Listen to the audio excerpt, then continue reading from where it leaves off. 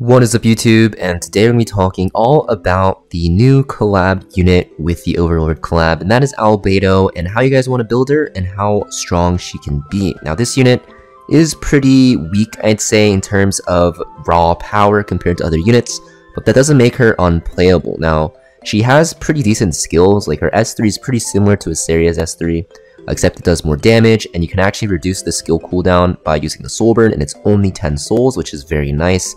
If you land this on a tanky unit, your damage dealers can pretty much one-shot them pretty easily, and even Albedo herself does a ton of damage if you build her correctly, so you can see that she will be able to finish off the enemies if this lands.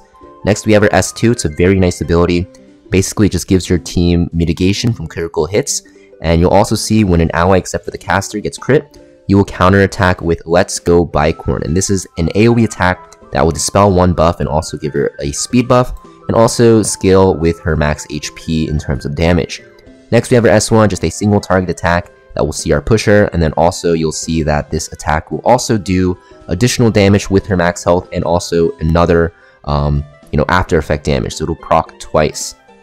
Pretty strong unit in terms of damage, but outside of that she's not really that great, she doesn't really provide too much utility besides this uh, damage mitigation. Uh, but honestly, if you're gonna pick her for damage mitigation, you might as well pick any other knight that can actually support her team. She's more of an aggressive knight as you'll see. And because of that, I have her on a destruction set build. This is not really the meta build I'd say, but I think it's actually probably her best. And that is because she actually does a ton of damage with her abilities because they all scale with max HP. And honestly, also because of her artifact, which will actually make her do more damage with uh, health. And this will work for AoE abilities, so with her S2, if this crits, this actually does a ton of damage. So you're going to see that this is pretty nice. And honestly, most people kind of think that you should stack her on health because she all scales with max HP. But if you want extra damage, you actually need her on high crit damage, right? Her health scaling is good, but it's not the best. So because of that, you definitely want more crit damage than crit chance. And you're going to see this is the build that I have actually cooked up. Actually, not me, but I kind of copied it, which is a crit damage albedo. And is very, very strong. I think for PvP, this is definitely the best build, especially if you want to surprise enemies because her damage is actually insane when you have her on this build. If you guys are actually curious about what her damage can be like, I have a video on my channel which actually showcases her on this build if you guys want to check that out. Does pretty insane damage with all of her abilities. Now, if you want to run her on more of a standard tank build to, you know, mitigate damage and also apply those defense breaks while doing some okay damage, not the best, then you can run her on this build where you have full health uh, about 200 speed and then you know almost 100% effect resist and she's pretty good and she will be a good mitigator for your team but honestly I think the left side build that I have on it is the best way to play her. It makes her a lot more powerful in Guild Wars. It makes her a lot more powerful in RTA because if you just play the slow game with Albedo, it feels like she just gets out scaled, I'd say, or at least like she's less useful than other knights out there who mitigate way more damage, have like a built-in stun and stuff like that. Um, so because of that, I think Albedo wants to kind of win kind of quickly. So because of that, you know, I have her on this destruction build and I think it's pretty fun. Now, when you're playing Albedo, if you have her on this build, you can actually use her as pretty much your sole damage dealer if the enemy isn't too tanky. If they are very tanky, you obviously want another damage dealer with her uh, to pair with her. Uh, but the best units you can pair with her are going to be support units, right? Something like a Last Rider Krau, you know, Unbound Knight Arowell, or Crimson Armin are very nice because they can support her. Also, she doesn't have any sustain, so any Soul Weavers with built-in sustain, like Destina if you have her, Ocean Breeze Luca even, are pretty nice for her as well. And if you have a unit such as Laya, she's also very good because she can reduce the skill cooldowns of um, Albedo's S3, which is very nice, and also her S2. And most of her damage will actually come from this S2, so you definitely want to make sure you actually you know can get this off cooldown as fast as you can. Now for units you want to avoid, you really want to avoid Navy Captain Landy because uh, you need to crit to win with her because she's all crit damage on that build. So Navy Captain Landy kind of shuts her down with her passive, not only for herself, but for her entire team. Also, unit like Last Rider Krau is pretty good against her because she, she can, or he gets that barrier up when she does that counterattack. Another good unit would be something such as like Lionheart Cermia because of her S2 procking and even Lone Crescent Bellona, who will end up almost one-shotting her. And you just want to make sure when you play her, you're not picking her into a full tank team. That's probably your biggest weakness. If you play her against squishier units, she can do very well. On this build, she's very good as anti-cleave because uh, her S2 will, you know, cripple the entire enemy side and they just kind of just fall over after, after any attack after that. So very good against anti-cleave and squish units, pretty bad against tank units on this build. even if you have her on the tank build, I feel like it's the same thing. You kind of want to just play her into squishier units because, like I said, she gets outvalued by other knights anyway, so there's not really a point to pick her. But besides that, she's pretty good. But yeah, this is the build I have her on. Let me know in the comments down below what you guys have your Albedo on in terms of builds.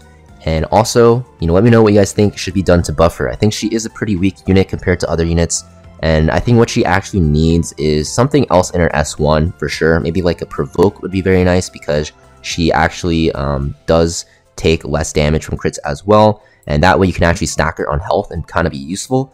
Also, I think maybe her S3, if it, you know, did something else besides this. Although it's pretty cool, I think they should get reworked. You know, this is just Iseria's S3. Although it's nice, I think, you know, a stun would be way better or something like that. Um, and she'd be actually more playable. But I think for how she is right now, seems pretty weak. She's pretty much just a damage dealer in a knight that doesn't really do anything but damage. So yeah, let me know in the comments down below what you guys think should be done to help her out. I do think Smilegate will buff both of these units eventually before their banner runs out because a lot of people are complaining. But I'm just curious what you guys think. We're going to test her out into this team. She is the only damage dealer on my side, but she does have some sustain with her, so she should be okay.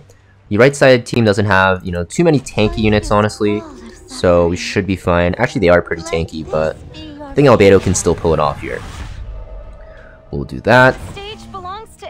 And then I'm going to try to bring my Albedo. Doesn't work. Counterattack, always nice. I get to get pushed up. And then here, I think I just S3 the Angel of Light. I don't really care about Rem getting her Demon Form. Because my team is almost all Earth, right? This should hurt a lot. No defense break, but it's fine. Another counter attack. She's actually helping me. And if I bring Albedo, she's dead. Oh. Boom. Yeah. So, pretty much a damage dealer, right?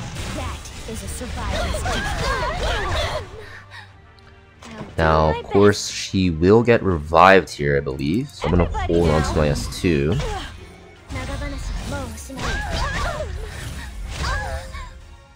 With this sword of spirit. This is gonna revive the Angel of Light.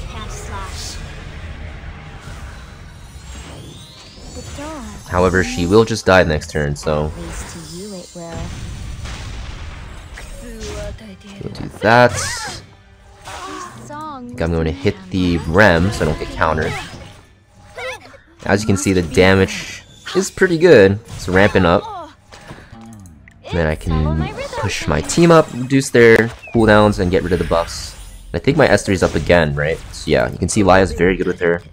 Soul burn this as well. It's only 10 souls. I don't know if this will kill, but it should be very close. Oh, maybe not because of the life steal here. Yeah, that would have killed without the life steal, I think. Don't be nervous, the odyssey of your life. Let's have our Amalpolitus dance again. Give us those OP buffs. Step back. Get some healing up here. And I think my S3 is up, right, on my Laya? Uh, it is, but I will just S1. I want to S3 the Dawn Cecilia. Oh, now she's dead. In the blink of an eye.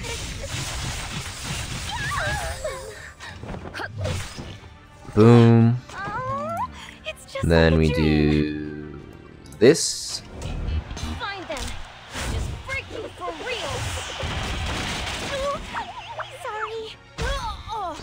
Wow, that's not kill. Does die through the Aureus. What are you looking at?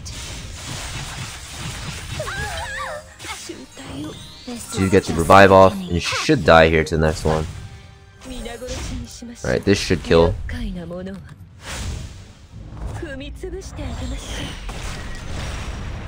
is gonna do ton. Yeah. And that is pretty much Albedo. Her damage is pretty solid. Honestly, kind of coping because she still is pretty weak. But I think on this build, you'll find the most success.